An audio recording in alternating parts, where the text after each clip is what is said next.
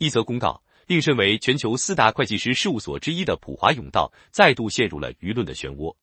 近日，中国恒大在港交所公告称，公司执行董事及董事会主席许家印因涉嫌违法犯罪，已被依法采取强制措施。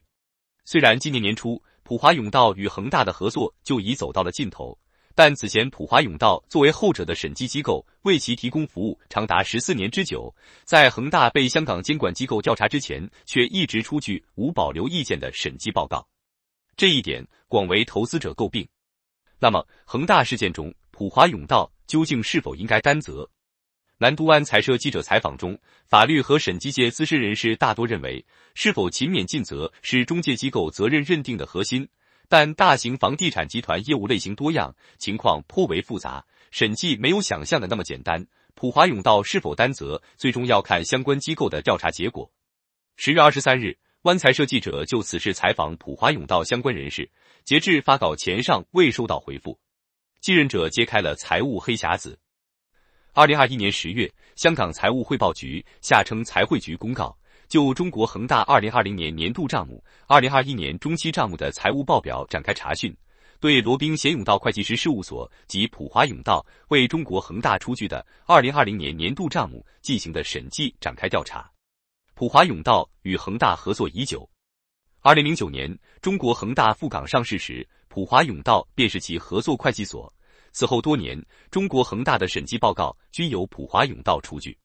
关于调查原因，香港财会局称，透过监察市场活动，在中国恒大二零二零年年度账目、二零二一年中期账目及罗宾贤永道二零二零年年度审计的核数师报告及审计报告中，发现该集团在有关持续经营汇报的充分性方面存在问题。本局亦接获一宗与二零二零年年度账目及二零二零年年度审计相关事项的公众投诉。实际上，早在二零二零年，中国恒大的资金链就已十分紧张。根据香港财汇局公布的数据，截至二零二零年十二月三十一日，中国恒大所报告的现金及现金等价物为一千五百九十亿元人民币，下同，但未涵盖其流动负债一万五千零七十亿元，于二零二二年到期的借款达一千六百七十亿元。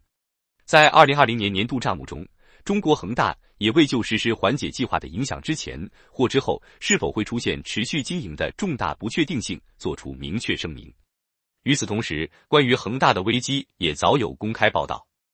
二零二零年八月，为控制房企有息债务的增长，监管机构针对房地产企业设置了三道红线：剔除预收款后的资产负债率大于百分之七十，净负债率大于百分之一百，现金短债比小于一倍。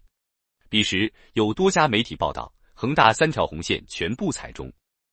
二零二二年八月，香港财会局再次宣布，已展开就恒大物业二零二零年年度账目和截至二零二一年六月三十日止六个月的财务报表的查询，以及罗宾贤永道对恒大物业二零二零年年度账目进行的审计的调查。同时，宣布扩大了针对上述中国恒大二零二零年年度账目、二零二一年中期账目的财务报表。对罗宾贤永道为中国恒大出具的二零二零年年度账目进行的审计的调查范围。约五个月后，中国恒大的一则公告宣告了普华永道的离开。二零二三年一月，该司公告称，罗宾贤永道应本公司的建议辞任本公司核数师，自二零二三年一月十六日起生效。同时，委任上汇百成会计师事务所有限公司（下称上汇百成）为本公司新核数师，以填补罗宾贤辞任后之临时空缺，任期直至本公司下届股东周年大会结束为止。上会百成为上会会计师事务所特殊普通合伙于香港的成员所。他的到来揭开了恒大财务危机的黑匣子。二零二三年八月，中国恒大修订后的二零二一年年报、二零二二年年报得以公布。上会百成出具了无法发表意见的报告。尽管上会百城表示，由于中国恒大人员流失，导致他们在获取期初结余相关的完整及事实数据和记录方面遇到困难，但其公布的财务数据已足以令外界啧舌。财报显示，中国恒大二零二一年的净亏损高达六千八百六十二亿元，净负债及净流动负债分别约四千七百三十一亿元及六千二百七十三亿元。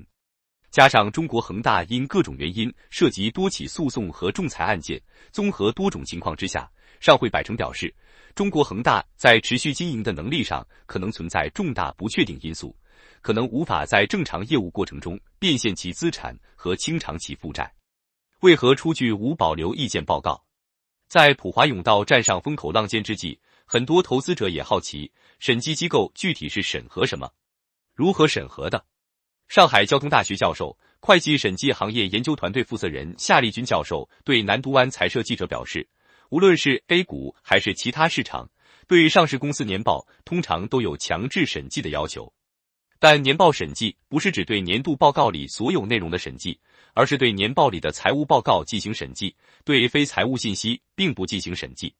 那么，具体是审计财务报告的什么内容？夏立军解释，主要是看报表和附注是否按照会计准则要求，真实公允的反映了上市公司的年度财务状况、经营成果与现金流量。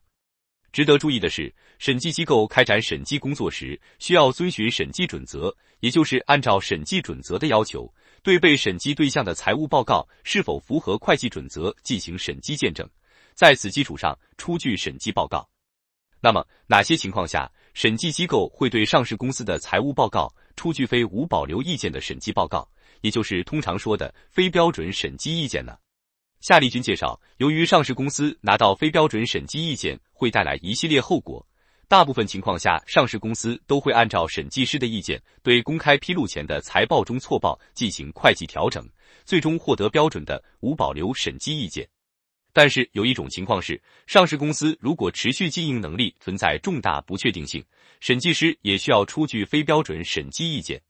在很多市场。上市公司拿到的非标准意见报告均和持续经营有关，这一般意味着审计机构有充分证据表明企业的持续经营存在重大风险。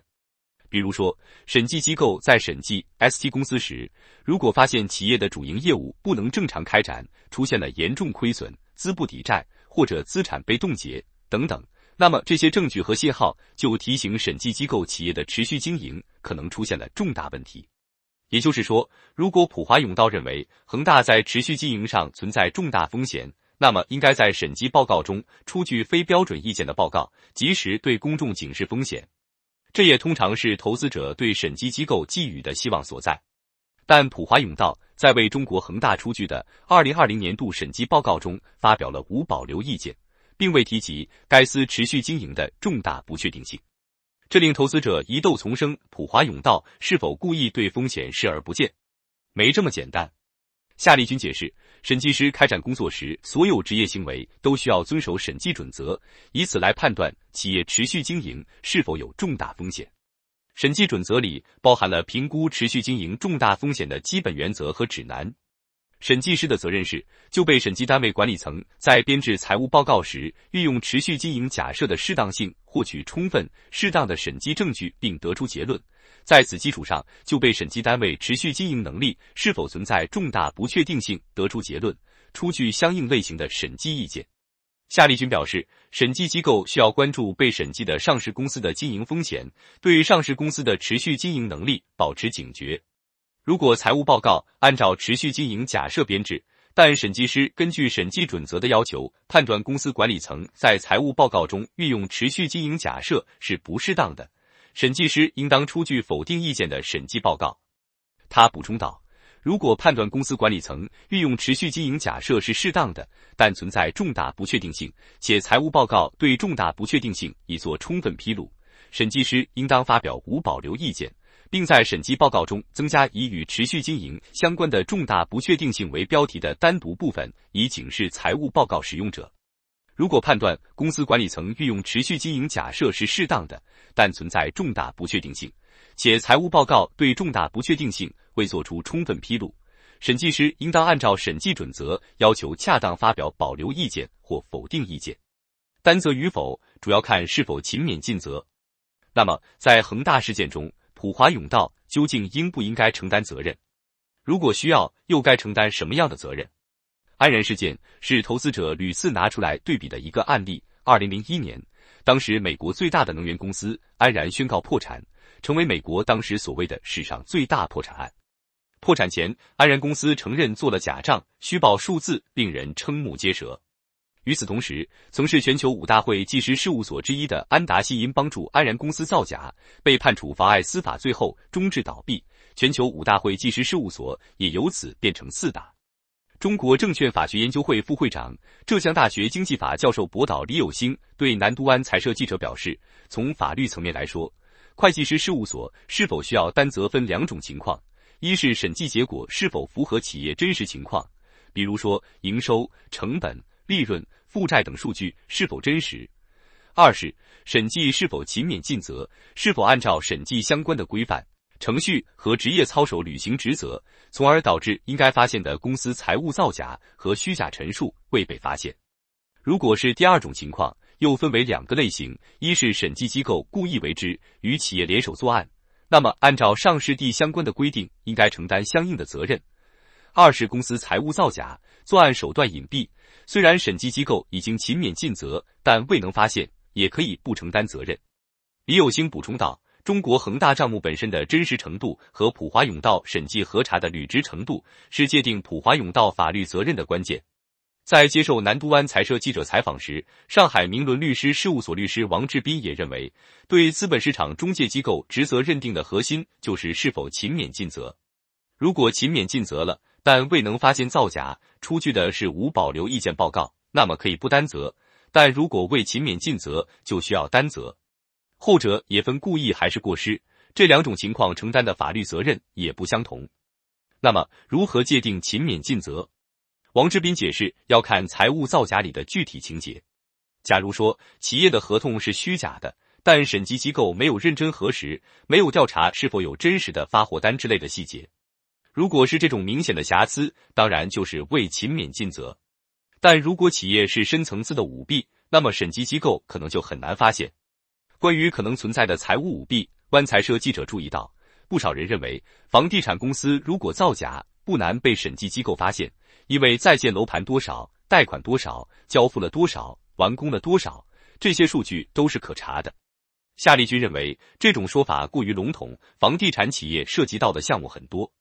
如果造假，要看在哪些会计科目上造假，不同会计科目地造假难度是不一样的。尤其是大型房地产公司流程多、环节多，实际情况很复杂。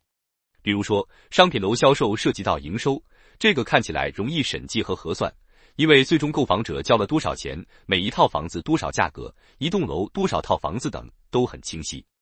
但是收入确认的时点和稳健程度，比如是在竣工时、交房时，还是签订销售合同、预先收到购房款时确认收入，存在调节空间。企业也可能通过构造交易安排调整这些关键时间节点来调节收入，在成本的结算上，则涉及到材料、人工、机器设备的折旧费等，建筑工程施工成本、完工成本核算也很复杂，并且还有大量预计售后费用等等。在存货的跌价损失计提上，则涉及到对在建在售商品房的跌价风险的估计和判断，这在房地产价格存在下行风险时也很复杂。此外，房地产企业还可能涉及大量复杂的投融资和交易安排，因此有些环节造假或调节就很难发现或判断。房地产企业的审计并没有我们想的那么简单。夏立军说：“究竟是否担责？一直以来，作为全球四大会计师事务所之一，普华永道的专业能力受到广泛的认可。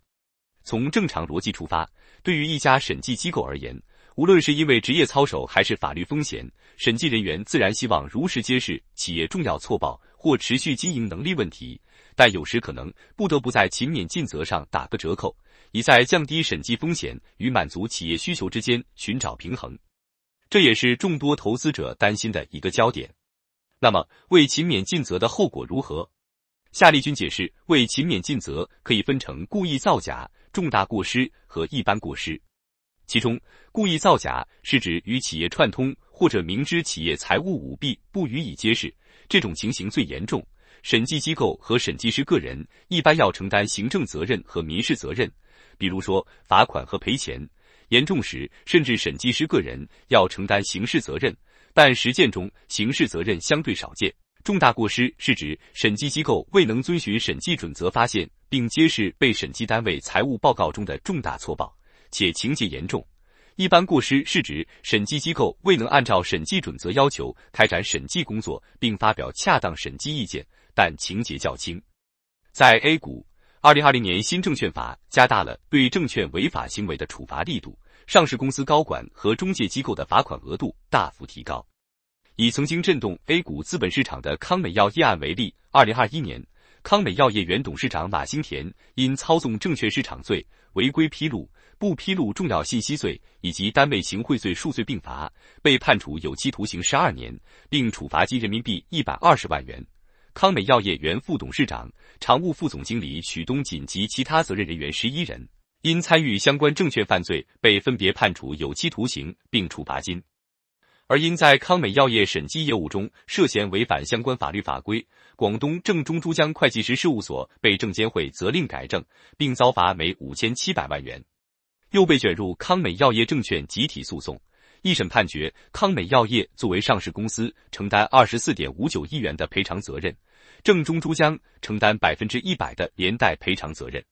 回归到恒大事件本身，从更清晰的脉络来看，王志斌认为恒大年报存在虚假记载是审计机构承担责任的前提，在此前提下，普华永道是否担责以及承担什么样的责任，大致可以分为以下几种情形。一是审计机构未尽审慎核查的义务，导致理应能发现问题被忽略，此种情况下一般会判定为过失，并可能涉及民事赔偿。二是如果普华永道配合企业造假，那么将承担连带赔偿责任，甚至可能涉及刑事处罚。三是审计机构已尽了符合行业标准的审慎核查义务，但仍未能发现管理层的舞弊行为。此时，即便年报存在虚假记载，审计机构也未必需要承担民事赔偿责任。当然，普华永道在恒大事件中是否需要承担责任，以及承担何种责任，最终结果有待监管机构按照有关法律和审计准则标准调查定论。